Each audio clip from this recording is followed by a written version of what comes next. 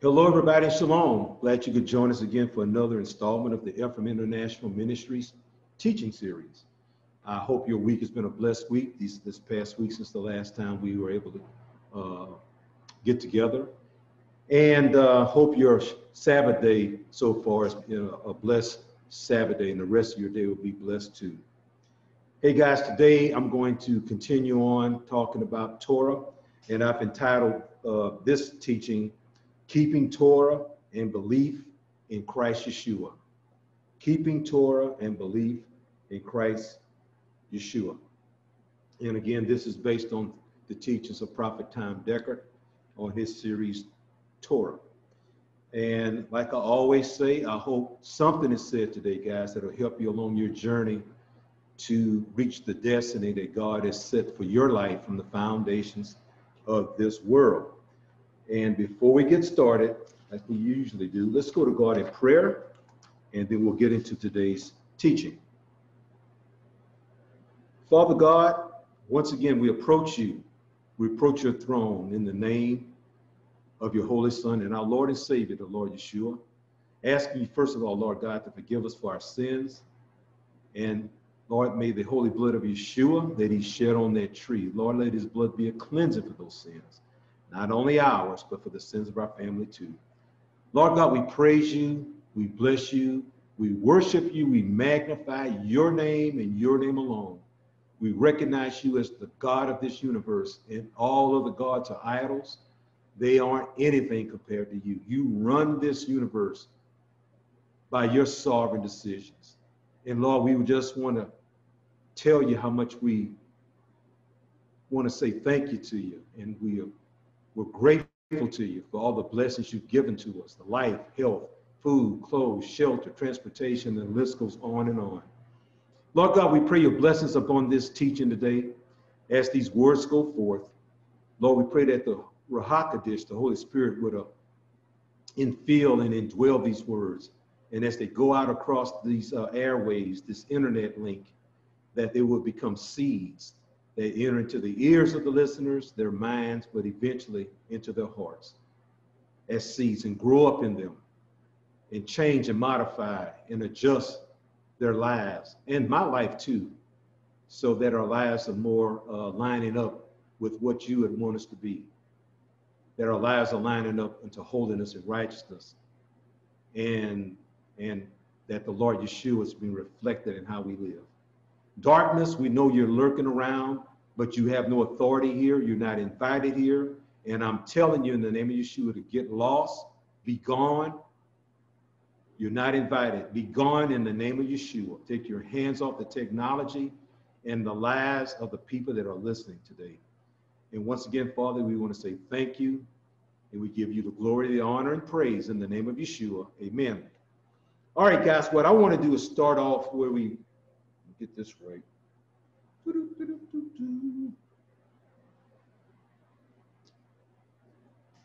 Okay, I want to start off where we left off last week talking about Peter. So I'm going to ask you to go back to 2 Peter 3.14 and we're going to continue on these scriptures. And of course, if you've been in this ministry, and I, am I'm, I'm thinking most of you guys have, or if you haven't been in, in this ministry, there's some scriptures that Peter wrote about Paul that maybe you never knew. Why Paul is so hard to understand. And this is Peter talking to us about the apostle Paul. Second Peter 3:14. Wherefore, beloved, seeing that you that ye look for such things, be diligent that you may be found of him in peace, without spot and blameless. And account that the long suffering of our Lord is salvation, even as our beloved brother Paul, also according to the wisdom given unto him, hath written unto you. 16. As also in all of his epistles, speaking in them of things, speaking of them of these things, excuse me, in which some things are hard to be understood, which they that are unlearned and unstable rest, as they do also the other scriptures unto their own destruction. So what is Peter saying in verse 16? He's saying very clearly that in all Paul's letters that he spoke in them in a way that is hard to understand. Okay? And if you don't know or you don't study or you don't fast and pray to get a clear understanding of what Paul was trying to tell you, you will uh, wrestle with it in your mind, wrestle with it in your spirit, and you may walk away with a misinterpretation of what Paul was actually saying. And that is exactly what's going on in the churches today.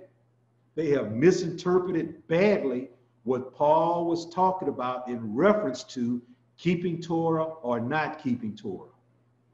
And we gave examples last uh, lesson where he uh, went through several different experiences and several different circumstances, explaining to people that you are supposed to keep the law, not not keep the law, that you are supposed to keep the law. When he talked about uh, you've been redeemed from the curse of the law, yours truly, and maybe some of you guys concluded that I don't have to keep the law because Christ has redeemed me from that curse. The curse was I thought the curse was I can't keep it anyway, so why try? I don't have to do it because Jesus took care of that. Christ Yeshua took care of that. And that is not what the man was saying.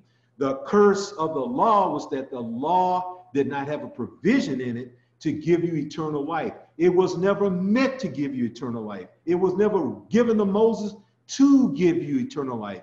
It was given to bless you and to define for you what sin is so you would be aware of it and not do it.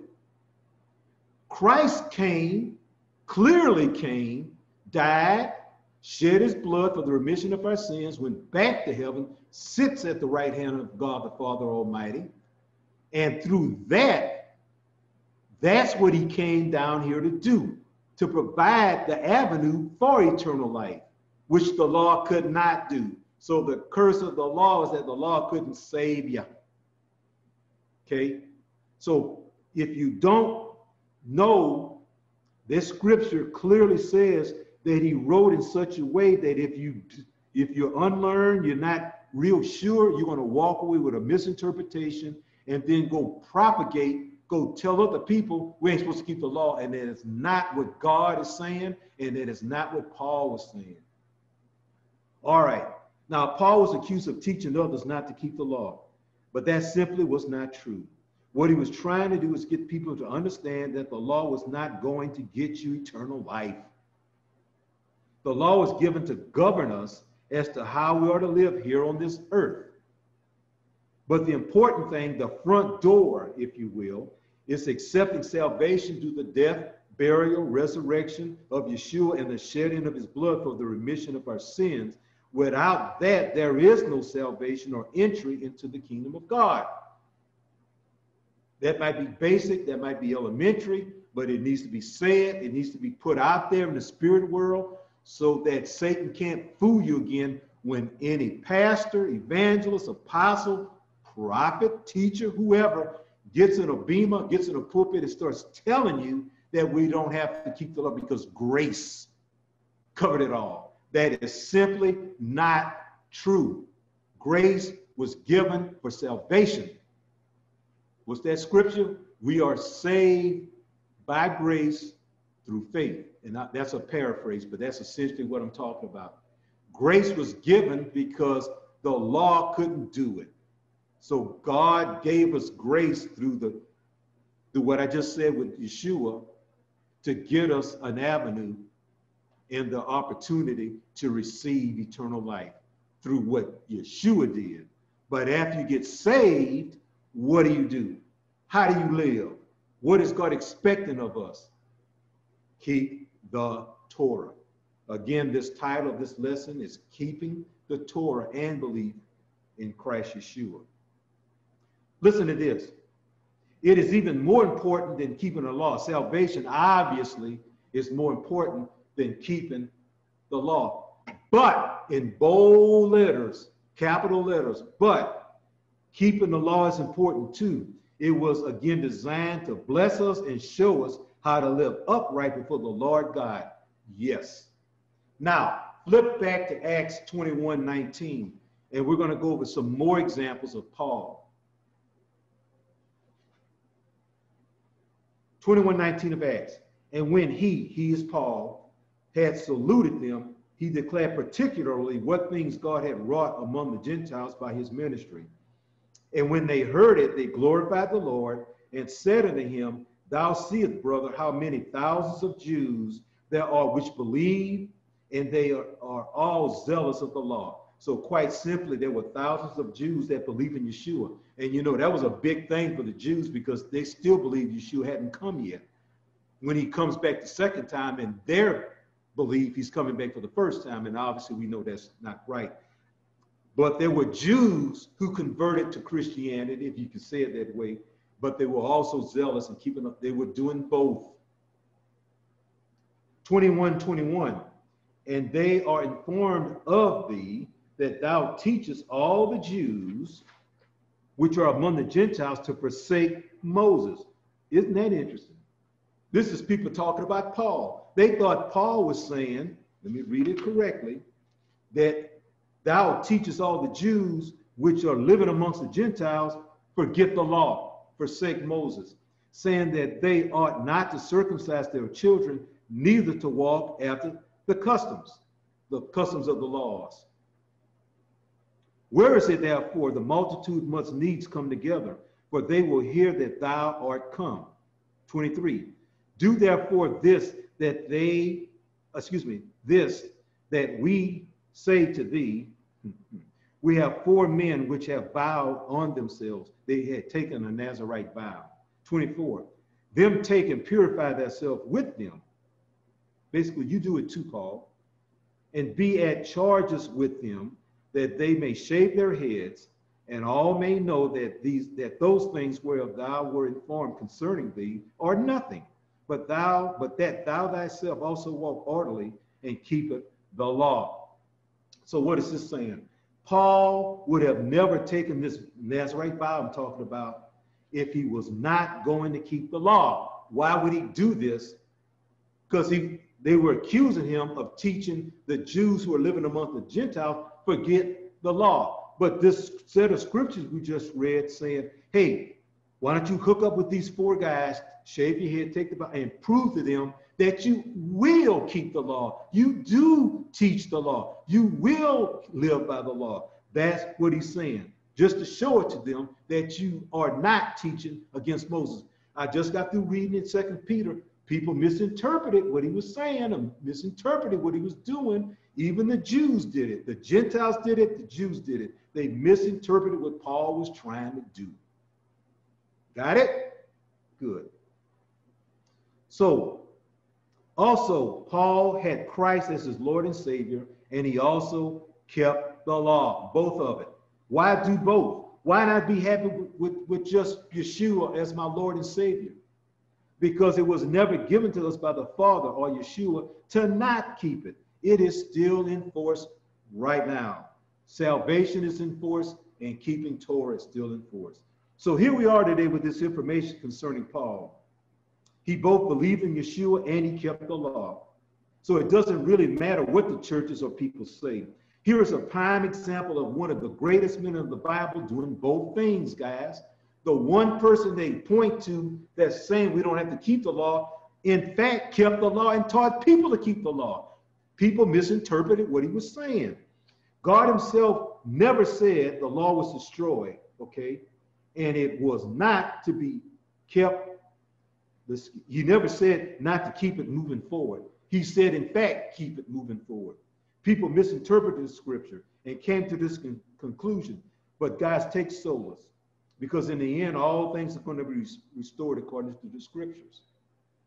Flip over a page and let's go to Acts 23 1. Another example of Paul in the law. And Paul, earnestly beholding the council, said, Men and brethren, I have lived in all good conscience before God until this day. And the high priest Ananias commanded them that should that stood by to smite him on the mouth. Then Paul said unto him, God shall smite thee, thy whited wall, or that whitewashed wall, for sittest thou to judge me after the law and commanded me to be smitten contrary to the law?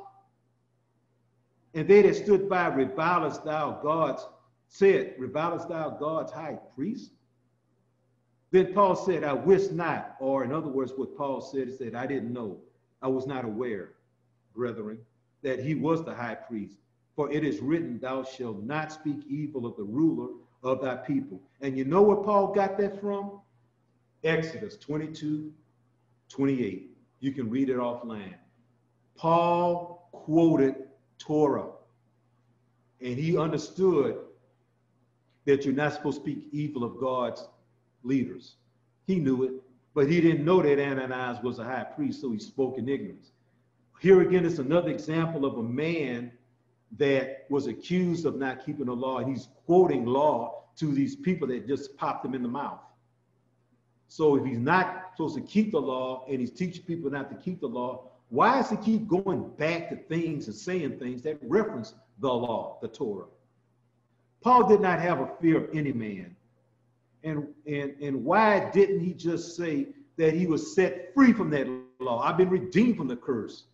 He didn't say that in this case. He said it, but that's not what he meant.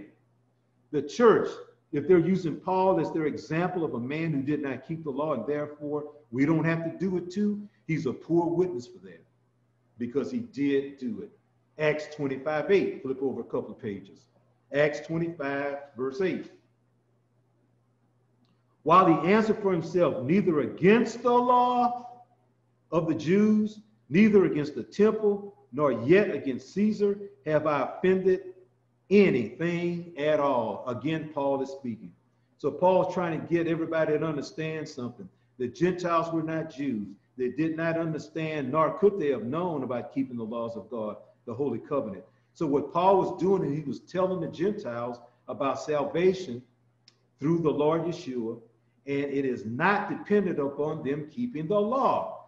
But after you are saved, okay, the earnest of eternal life, then you are to keep the law. That's what he was saying. That's the message of this teaching. You can, you are required to have a belief in the Lord Yeshua and keep the Torah. There was no requirement to keep the law to be saved. But the Jews were coming up behind Paul and they told the Gentiles, telling them that in order to be saved, you had to be circumcised. You can find that in Acts 15. I'm not going to read that but that whole chapter was about the council getting together because Paul was going around, like you know, to all these different countries preaching the death, burial, and resurrection of Yeshua to these Gentiles or to these uh, uh, Israelites that were living amongst the Gentiles, okay, and telling them this. But the Jews were circling back around him and say, "Hey, you got to, you guys, you got to circumcise yourself, or you can't be saved." And you like we've been pounding on it for almost two weeks now. Keeping the law cannot save if you kept it perfectly you would still die and burn. The only thing that's going to give you eternal life is accepting yeshua as your lord and savior.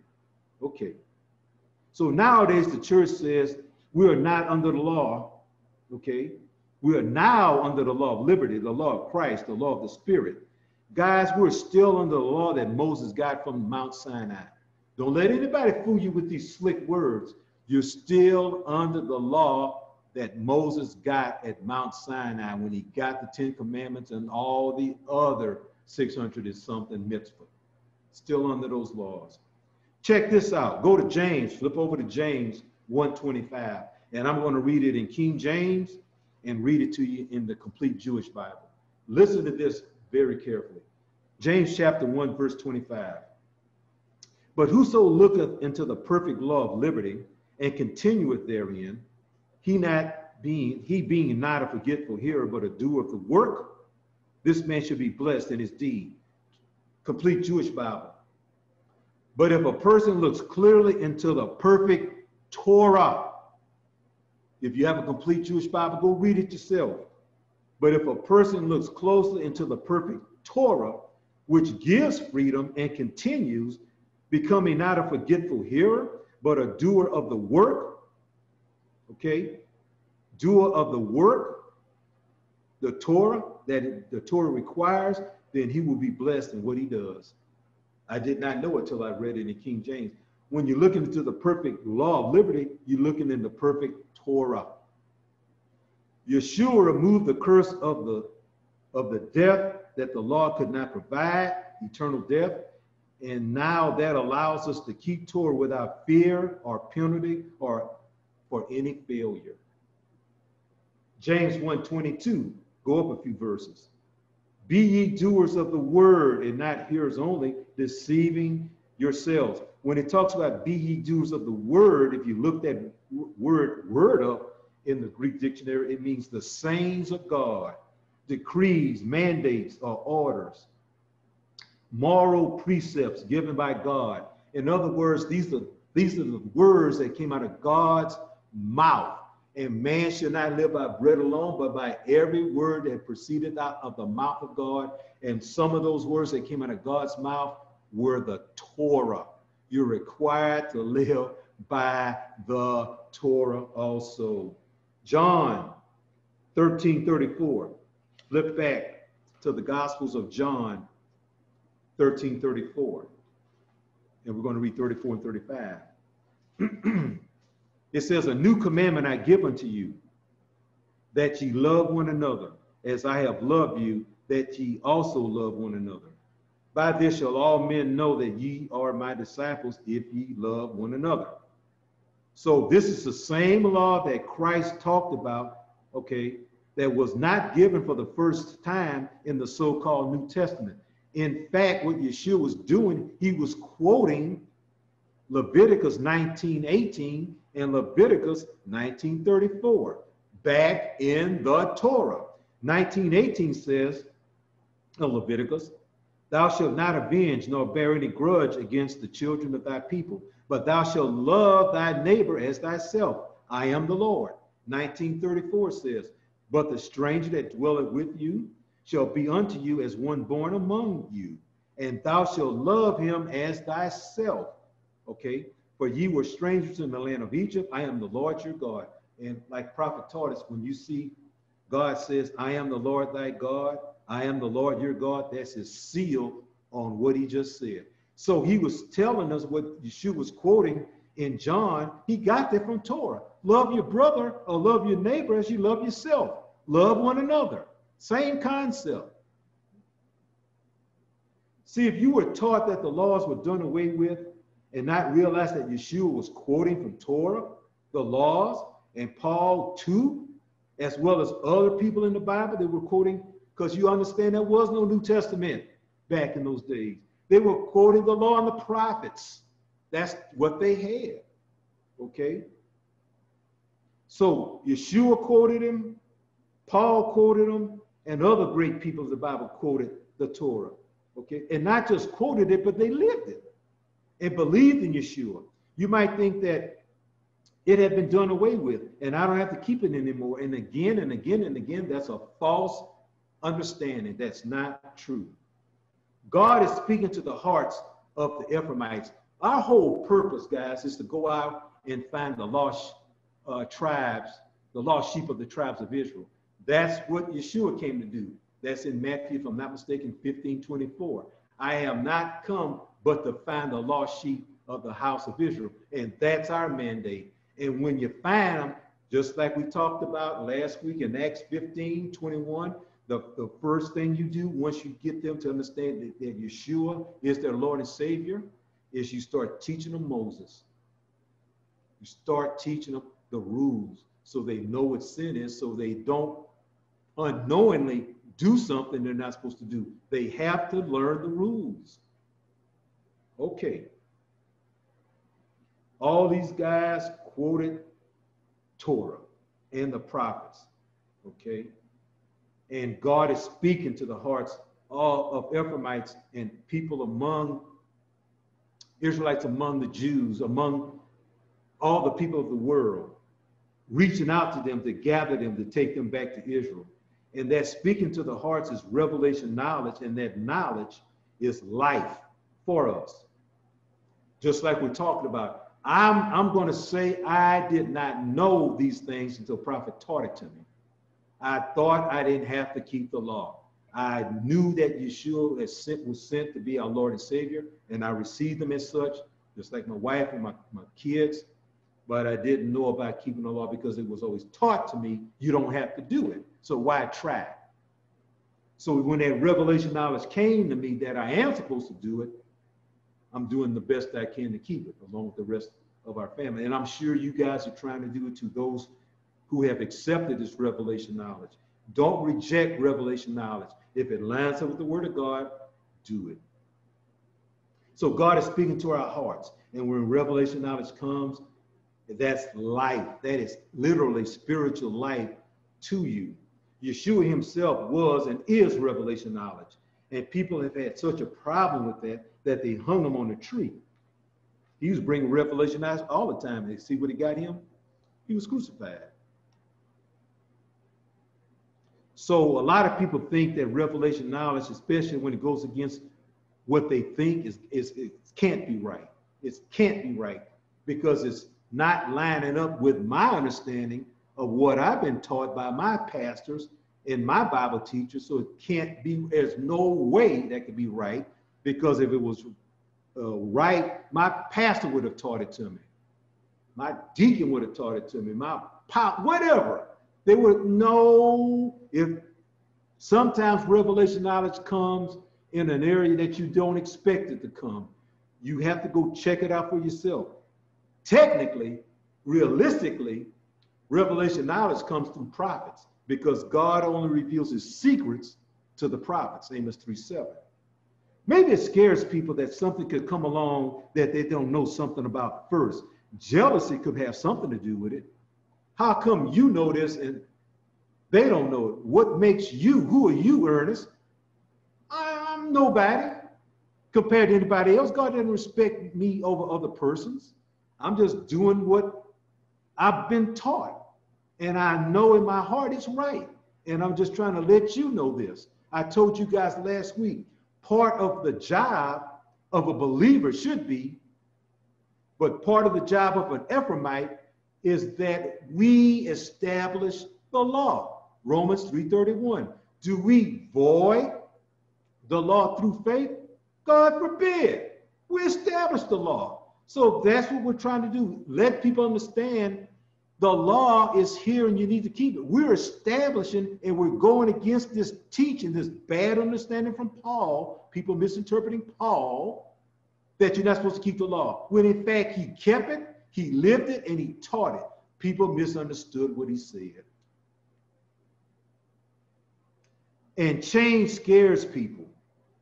People do not want to change and move away from their comfort zones. But change is also necessary. And change is something God brings about in our lives. God changes not, but people have to change to become more holy and righteous.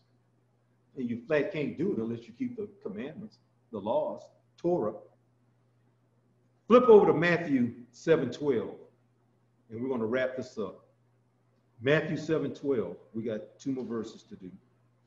Therefore, all things whatsoever ye would, ye would that men should do to you, do ye even so to them, for this is the law and the prophets. Okay. Again, this is another example of a command that came from the law and the prophets. Mm-hmm. Romans 8 2. Romans chapter 8, verse 2. For the law of the Spirit of life in Christ Yeshua hath made me free from the law of sin and death. Again, this, this explains that Yeshua came and what he came to do. The law of the flesh leads to sin and death. And the law of the Spirit of life in Christ Yeshua makes you free from sin and death. Got that? So everything revolves around the law. The Father gave it to us, and Christ Yeshua came not to destroy it, but to fulfill it. And some well meaning individuals or church organizations tried to explain what Paul really meant concerning the law, and they missed it. And I wanted to just drop this in. One of my favorite verses is John 6 63. And this is a verse where Yeshua said, The words that I speak unto you, they are spirit and they are life. The words I speak are life. And we just got through saying the law of the spirit of life in Christ Yeshua, life, the spirit of life, the life is in the words that Christ Yeshua spoke to us. And a lot of the things that Yeshua spoke to us were direct quotes from Torah. He quoted Torah a whole bunch of times. When he was on the Mount of Temptation, when Satan was tempting him, those verses that he quoted were all in Torah. He quoted the Torah to Satan. That's what he was doing. And if we're supposed to emulate in our lives Yeshua, then we ought to be emulating Yeshua, learning the Torah and quoting Torah at our circumstances, just like he did. All right. So, like I said, some well meaning individuals and church organizations missed it concerning Paul, and we're here to help clarify that. Hopefully, we've done it at least a little bit of a good job to try to straighten that out for you. But, guys, keep the Holy Covenant, keep the Torah that the Lord God Yahweh gave us, and the testimony in Christ Yeshua. Keep it. Amen. Amen. That's the lesson for today. God keep you. God bless you. And if it be God's will, we'll meet you again next week. Shabbat Shalom and goodbye.